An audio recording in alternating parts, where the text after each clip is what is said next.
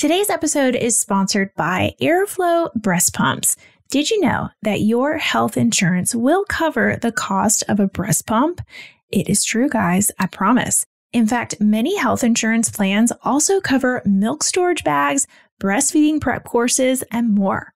At Aeroflow Breast Pumps, you can shop top rated breast pumps from brands like Medela, Spectra, and Motif without ever opening your wallet. Fill out their quick and easy insurance eligibility form, and they'll take care of the rest. It might just be the easiest thing that you do during your whole pregnancy. Just visit aeroflowbreastpumps.com slash mommy labor nurse. That's A-E-R-O F-L-O-W breastpumps.com slash mommy labor nurse to find out why more than 1 million moms have chosen Aeroflow breast pumps to get their pump through insurance.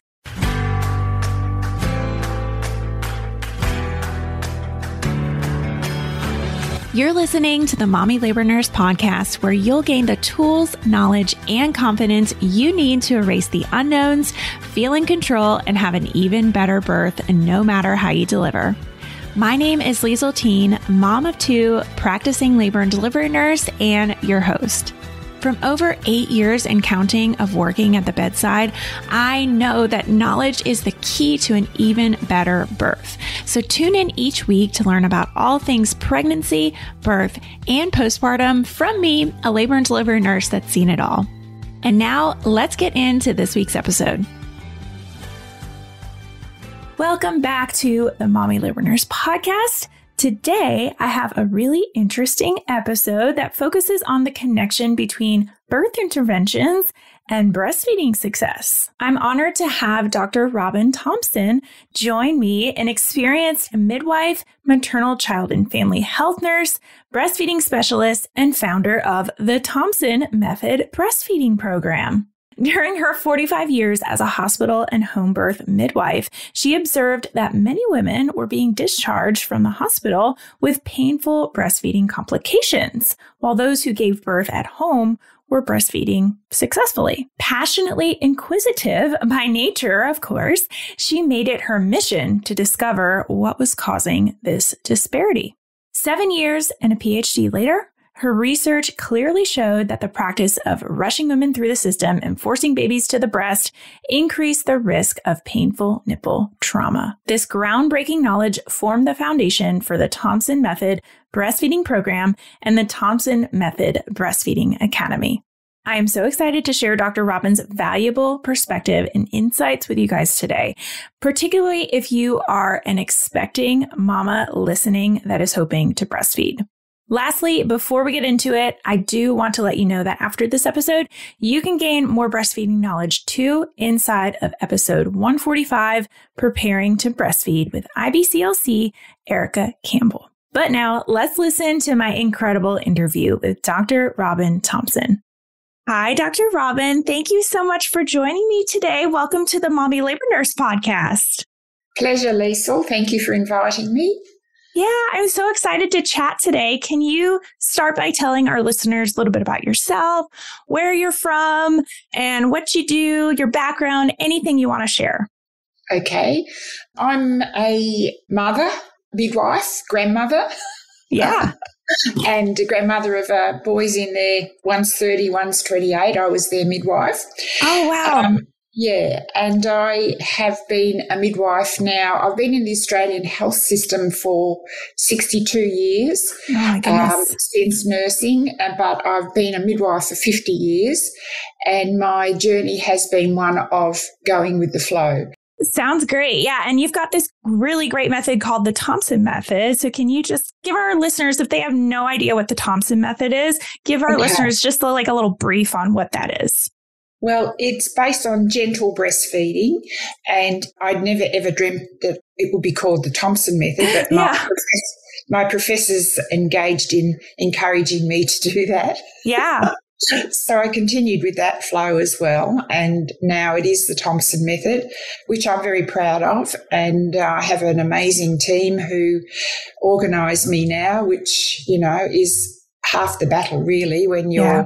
Yeah. helping women around the world to be able to use the technology and to be able to set things up and to be able to solve problems if they occur, especially with the internet. Mm-hmm. Yeah, so I have a magic team and I now have a an academy which is headed by Rachel Austin. She's a midwife colleague of mine of many years and she chose education as her journey and so she's heading up the academy and uh, it's going well at the moment, so we're happy about that.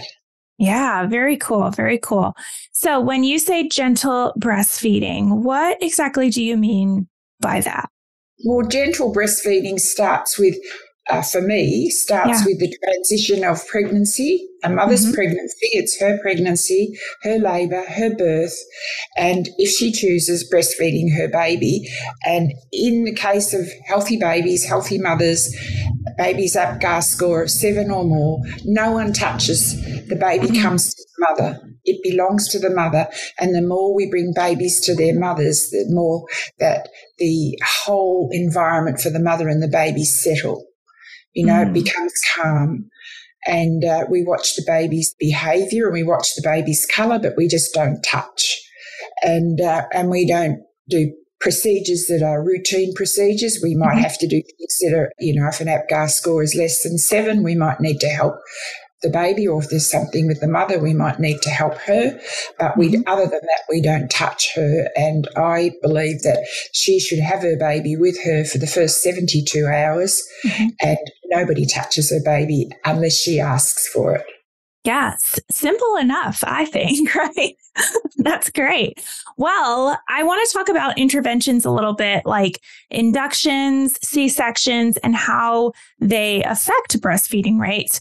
So, Specifically, what do you think hospitals and birth teams really can do to mitigate the impact that these certain interventions might have on breastfeeding rates? Well, think about the rates of interventions that are happening around yes. the world at the moment and reduce those interventions because women are very capable of giving birth to their babies if they have a known midwife. Yeah. If they have a midwife by their side, then they can give birth. And, you know, it does take time. Every woman is unique. Every baby is unique. Every part of every person is unique. So, you know, there's no two people on the planet that are exactly the same. We're mm-hmm. all unique genetically, biophysiologically, anatomically, neurologically, psychologically, and emotionally. And we expect women to do things that professionals, particularly now in this era, expect women to do what they want them to do, or they policy says, their policy says, well, policy in this country anyway is not legal. So, mm-hmm. you know, a woman has a right to do her journey in the way she chooses. And having home birthed for 25 years, I learned so much about that about what women were capable of, and particularly when they weren't in foreign places to give birth to their babies. They were in yeah. their own place where it was quiet and calm, and they progressed beautifully. And progress is the key word. Yeah, progress is definitely the key word. That's for sure. Yeah. Yeah. So yeah, that's been my um, amazing journey. I've been in charge of a labour ward as well for quite some years, and charge of a hospital and, you know, learned all of those things along the way. But I think I did most of my learning with women in their own home because they mm. were teaching me things that I didn't need to do because they were very capable. But I was there if they needed something and I was there mm. on the alert if things didn't go right. But I never, ever, ever had to transfer around a thousand women, never had to transfer anyone by ambulance. And there was a 2% transfer rate. Yeah. Yeah, that's pretty low. And that's, yeah, that's definitely something to be proud of. Uh, uh, no, I think you know, we need to stop the unnecessary intervention, step yeah. back, stop rupturing membranes because when you do that, you change the hydraulic pressure that helps, assists the labour, assists the uterus, mm. assists the baby. And it's there for drinking. Every time the baby drinks, the baby gets the hiccups. Mm. So we need to stop all of those things where we invade women's bodies. Mm-hmm unnecessarily. mm-hmm. Yeah, unnecessarily, of course. That's yeah. the key word yeah. here. Yeah. Not sure what you need to care for yourself down there after birth. I've been there. Not stocking up on postpartum essentials before I gave birth to my first was one of my biggest mistakes. I don't know what I was thinking, guys. But now, as a two time mama, I know a thing or two about postpartum recovery and exactly what you need to make it through this stage as comfortably as possible. For a completely free checklist of what you need to stock up on for those early postpartum days, just head over to mommylabornurse.com slash postpartum checklist. That's mommylabornurse.com slash postpartum checklist, all one word, to grab the PDF for free today. Well, with all of this in mind, let's talk about like birth plans. So, what would you say are some of the most important things when we're thinking about breastfeeding that moms should indicate on their birth plans to set themselves up for breastfeeding? Not just like postpartum stuff, you know, like, hey, don't come in my room, blah, blah, blah. But even we're talking about labor and things during labor. What would you say some of the most important things? Well, I think the opioids is one of the biggest problems for the baby mm-hmm. for breastfeeding because opioids do create the sleepy baby syndrome. Mm-hmm. And we see that, I see it all the time because I'm online with women with live breastfeeds, you know, and all mm-hmm. around the world again. And you see the babies struggling to feed because their coordination is affected by the opioids. And of course, the mother's affected by it too. And it takes time for it to bind and process through the through the liver and break down. Mm-hmm. So we need to consider the use of opioids. Um, I encourage women to consider sterile water injections, which create pain free, you know, if they're really needing something. And uh, again, it all depends on the unique circumstances at the time, but certainly avoid opioids. And then the baby, the other important thing is not to touch, as I've said before, and then mm-hmm. the baby will with the mother in its own good time. And in my experience at home births, about half an hour to an hour gradually start to find its way to the breast. Mm-hmm. And then it feeds. And then that's the start of when, if no one touches the baby, no one's, you know, interfering with the baby or the mother's breast, things can generally come together quite well. And, and if they uh, have been on my program and looked at the symmetrical face to breast contact mm-hmm. and the fine tuning that I suggest that is unique for every woman. It's not the same for every woman, but it's similar. So I don't have any rules, no mathematics, yeah. no rules, because if you apply rules, then you create problems for the mother. And of course, here we have early discharge. So the woman's sent home and before you know it, she's in pain. She's distressed because too many people are involved in her, what's her journey and her birth. Yeah. Yeah, no, definitely. Well, you've mentioned hands off a whole lot. So, are there any specific breastfeeding practices that we as healthcare providers, I know you've said hands off, but maybe there's like specific things that you think we should do as healthcare providers or hospitals that we can implement to kind of support this hands off method? Yes, I would say well, you know, I've studied the craniocervical spine and the oral cavity and all the connections. Mm-hmm. The, the tongue muscle function, the oral function, how milk production is generated by the baby.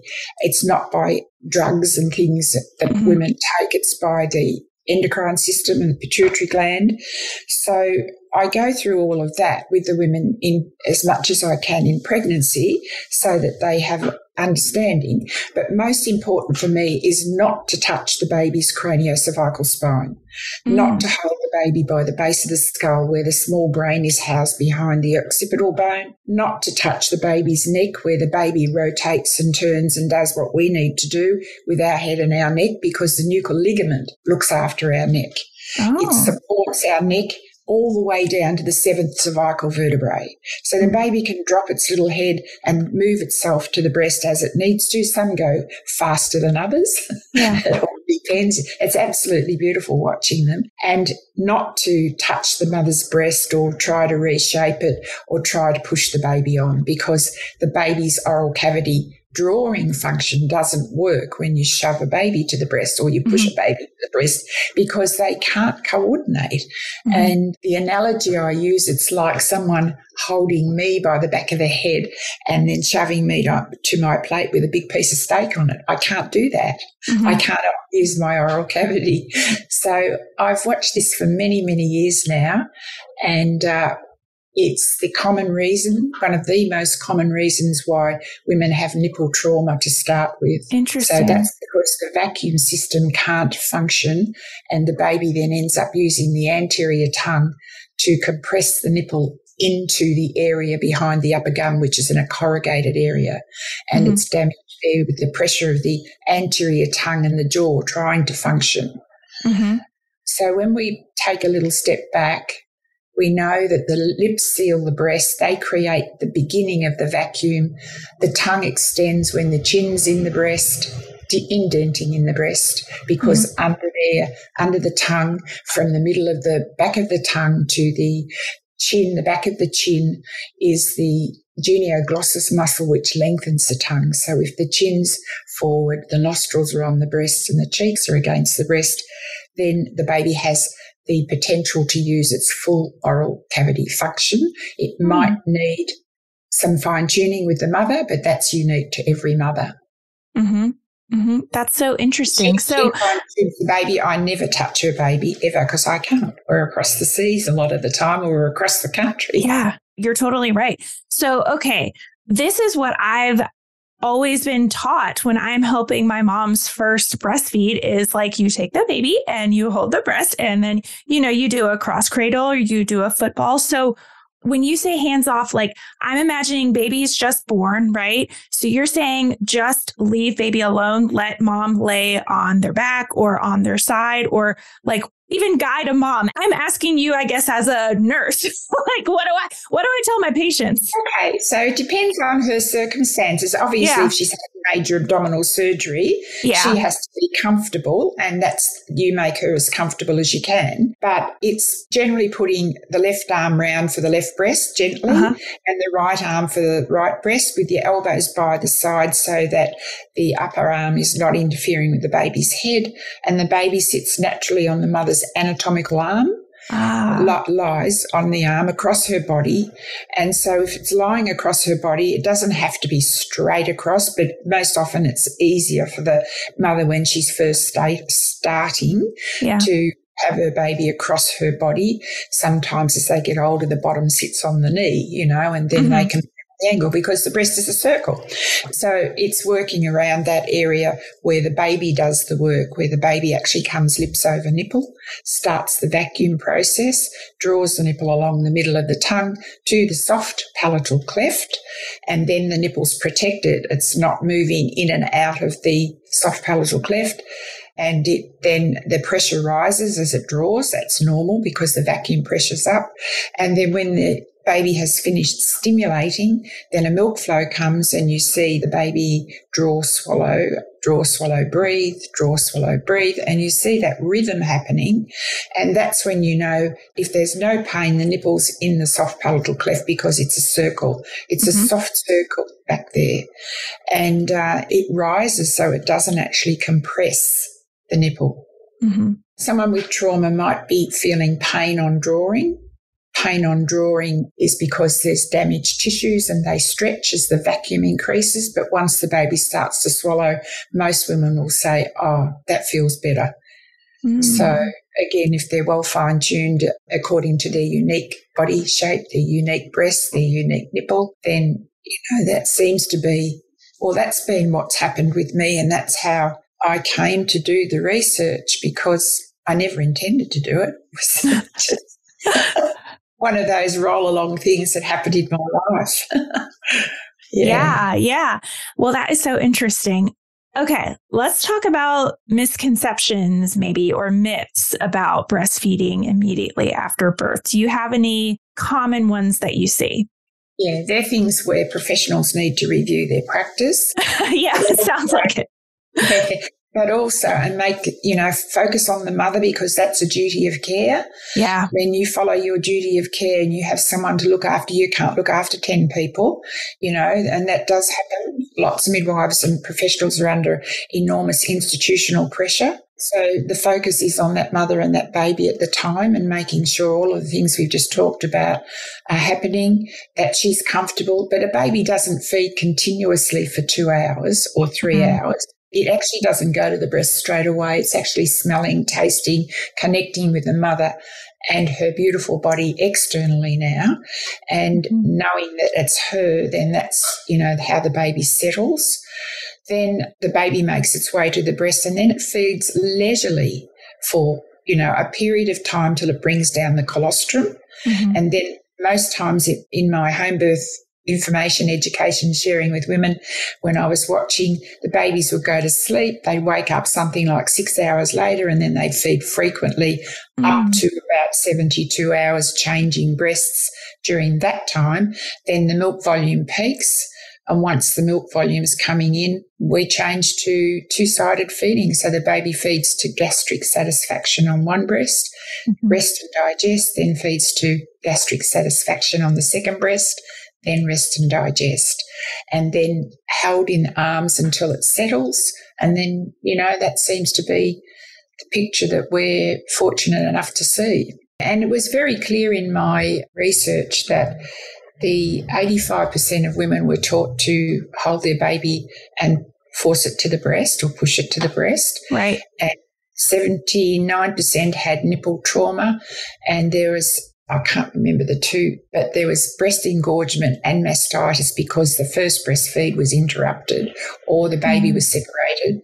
And so that didn't start the process of the milk production happening when a newborn, you know, feeds.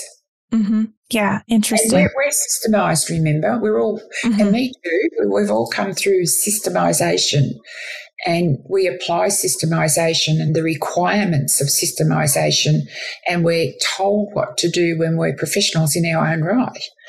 And right. this is very difficult when you're providing care that's um, a duty of care for one on one at the moment that you're looking after someone. Yeah. Yeah. Yeah. Interesting. We have a lot of pressure on us in the system. Um, yeah. you know, time poor, all those things are very difficult. And I think it's time that we all started to realise and maybe put ourselves in that position ourselves and think how we'd like to be looked after. All right, the sound of that heartbeat means it's time for this week's segment of Birth It Up Babies. This one says, My husband and I purchased your natural series course, and man, it was everything to us. Aw, we went into our little one's birth with so much knowledge and advocacy. I was able to hand my birth plan over to the nurse who was insanely impressed. I kept saying, Be like Raggedy Ann when I was going through contractions. That's awesome. Also, back labor is no joke. Yikes. Yes, no joke. I'm so damn proud to say that we had our little man with no medication or interventions. Didn't even have an IV started. I felt like a damn rock star. And I know I have your course to thank. Oh, I love it. Oh, I can just feel her feeling like through her words. Oh, love it. My water broke at 7 p.m. Sunday night and he was born at 5:50 Monday morning. I pushed for 12 minutes and was told by my midwife that I was a damn hero. the third time she said damn. See, she's pumped. Oh, I love it. Thank you so much for everything you do for expecting mothers and their families. It does not go unnoticed. Oh, I love it. Thank you so much. When you guys send me these messages, I just, I love them. If you want to have an even better birth, just like this mama, head on over to mommylabornurse.com slash courses to learn more about our three online on-demand birth classes. What about some advice for someone who maybe their baby was taken from them for medical reasons after birth? Well, at score less than seven is highly likely a baby will be moved, but we're actually working on having the baby beside the mother. Uh, so that the there's a, a setup now that's been devised that can be well, the mother can see, touch if necessary, reassure the baby. But it just depends what needs doing and how long the baby's there and what, you know, how the baby's able to feed or not to feed when it is finished with or when the, the stranger people are finished with it, the professionals. Mm-hmm. And then it's important then to mimic or do what the baby would do. So bring down the colostrum with help if necessary, but gentle help, not the bruised breasts that I have seen. And very gentle rhythm, draw, swallow with your stimulation or the mother's stimulation if she's able. Again, she may not be able to, so helping her and then giving the colostrum to the baby to make sure the microbiomes are preparing the gut from the get go. And then have a little break for a while, let her rest and then see how things are going. And then if the baby's not ready to come back to her because it's gone to the nursery, mm-hmm. uh, then it's very important that either she can connect with her baby and talk with it and touch it, or if she can't do that because things are too difficult, then to start expressing her breasts over a period of time for a while or someone helping her, then stopping and having a break and then doing it again until the breast milk starts to peak mm-hmm. and the baby's having her milk all mm-hmm. the way through and fed to the baby as gently as possible, not in volumetric amounts where the baby's really overwhelmed by the volume. Watch the baby's cues. Mm-hmm. and the baby gives you all the information. Again, it's about replicating as much as possible what would be done under normal circumstances when the mm-hmm. mother and baby are closely united and doing what they need to do. Mm-hmm. That makes sense. That makes sense. No, I like how it's it feels like you're simplifying things and that makes a lot of sense to me. Yeah. Coming back to basics, isn't it, Lisa? It's coming back yeah. to the basics of survival. Yeah. It's all about survival. And, you know, we don't see the other mammals shoving or pushing babies to the breast. We don't see Absolutely. other mammals you know that the mother does her best to feed her babies all the time and she might have multiples in some cases mm-hmm. you know multiple multiples so i sort of try and think it through in a way that what's best for that mother and what's best for that particular baby as well. Because, you know, as you said, the circumstances, as we know, the circumstances change for many. And particularly in this area, era where mm-hmm. there's so much intervention. One intervention leads to cascading intervention. Mm-hmm. And, you know, we do have complications arising and sometimes we're rushing as well. So mm-hmm. that doesn't help either. And we're wanting this woman to give birth to her baby much faster than what she would do normally. For sure. Well, yeah. can we talk a little bit about how important I would say the role of lactation support is in those not just first few hours after birth, but like those first few days, those first few weeks, and how that impacts breastfeeding success rates? Well, I can confidently say I have women in my practice now who give feeding me back. They're feeding to two years, uh-huh. some to three years, wow. but they're feeding much longer. And their feedback, they give the feedback, right? So the feedback is that they uh, have been really enjoying and satisfied that beautiful time with their baby because it goes so quickly. Mm-hmm. Now, I'm not saying everybody does that, but you know, certainly the time is longer. Some women, when they go back to work, which is sad, I would pay every woman a wage to stay home yeah. with her if I was in the political arena, I'd focus on that and not interfering in our practices. Mm-hmm. mm-hmm. and uh, I think we have to rethink the whole thing about what we're doing for mothers and future generations of children and young people and adults, you know, how we're affecting them in this very early time when the mother's united with her baby. But if she has to go back to work, they often contact me and we talk about what's best for them and their family life and how mm-hmm. they can achieve that. We don't have rules. What about partners? What about like maybe the role that partners play and the notion of family centered care during this immediate postpartum period? I love it when the partners are involved. I'm it sure, yeah. So much difference, honest and they come online and they talk and they ask questions and they yeah. look carefully and they're looking at things that I'm looking at from a distance. They're looking at much closer mm-hmm. and they're picking it up really easily in that early breastfeeding period and as it goes along. Um, they're very interested in the growth and development of the babies. In my group sessions, when we do, you know, some sessions with the team I have around different parts of the country here, there's always the guys are turning up, partners are turning up. Last one in Perth in Australia, we had a lovely male midwife come asking amazing questions. so, so, you know, there's always room for partners, and I think it's better that they're there and that they're understanding too, because when they're understanding, they become much better advocates for their partner as well. Oh, I'm sure. Yeah. And that's a big part of it. Yeah. Yeah, so I love it. I absolutely love when they're there. And I tell them that too. Yeah. I tell them how valuable it is that they are there. Yeah. Yeah. Well, amazing. Dr. Robyn, can you tell our listeners if they are like, I want to listen to this lady talk way more and I just want to learn everything, you know, I can learn about the Thompson method. Where can people learn more about you and learn more about the Thompson method? Well, my team will guide you there.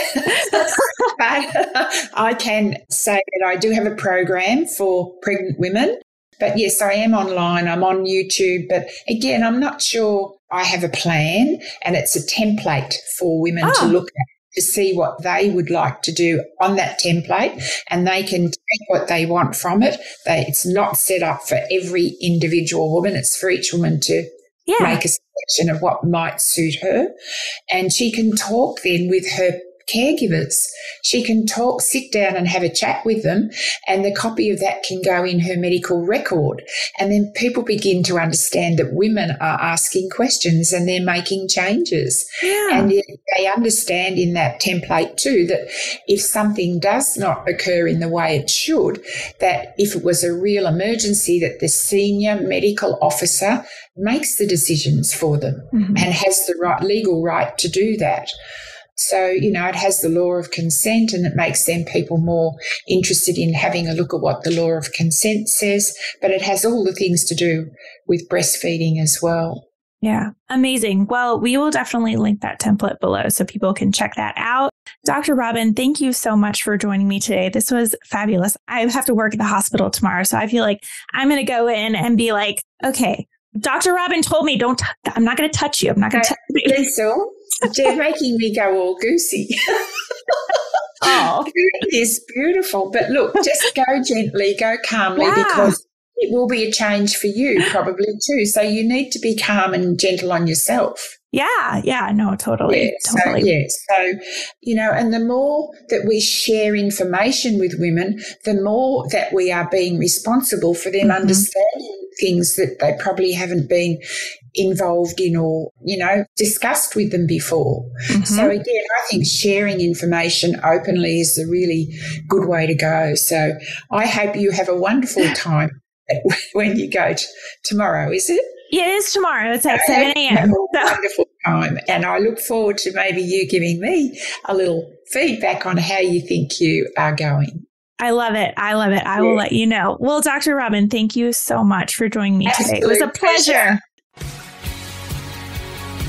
Already feeling a little more confident about pregnancy, birth, and newborn life?